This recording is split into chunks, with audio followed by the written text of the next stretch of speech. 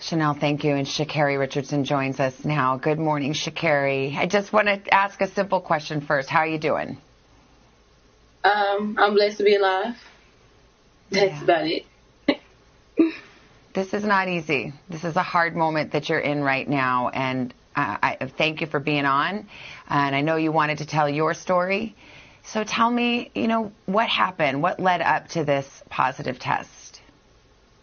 Um, just honestly, boy, just I want to take responsibility for my actions. I know what I did. I know what I'm supposed to do. Um, no, I'm not. I'm I'm allowed not to do, and I still made that decision. But um, not making an excuse or looking for any empathy in my case, but just, however, being in that position of my life, finding out something like that, something that I would say is probably one of the biggest things that have impacted me positively and negatively in my life when it comes to dealing with the relationship I have with my mother. So that definitely was a very heavy topic on me, and people don't understand what it's like to have to.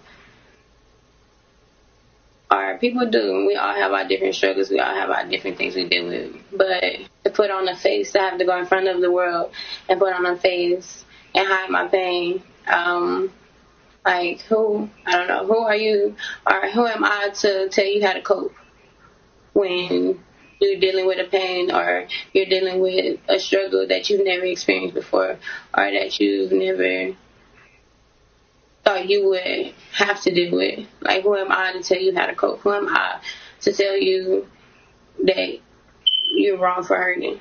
So I think just honestly, just leading up to that, dealing with my mental health, dealing my, with my mental as is with leading up to the games. Um, every time stepping on the track, definitely expected to be um, a record breaking time or something like that. So just with that, um, pressure in itself was also just another thing with this actually been my first full professional career, my first full professional um, circuit this year due to, you know, the pandemic. So just considering all of that, all of that put together, long, long time, my, my agent, my sponsor, my my sponsorship, my family, uh, knowing me dealing with all of this stuff so, um, Sha'Carri, I, I, just want people to understand where you're coming from um, and tell me if, if this is correct. But you, it was a few days before your big race and the trials, you found out that your biological mother had passed away.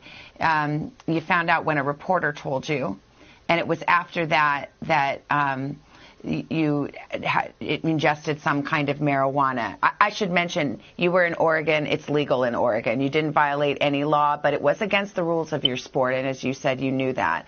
But is, is that what happened? Is that how this unfolded?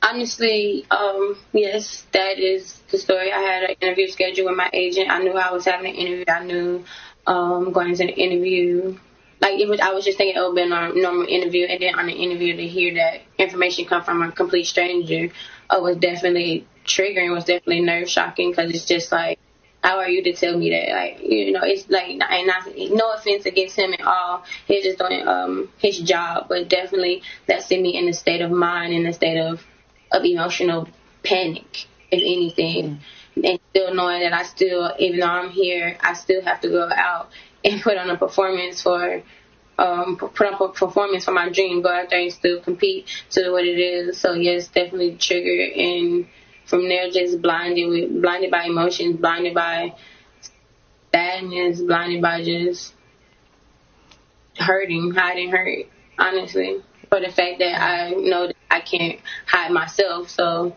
at least in some type of way I was just trying to hide my pain.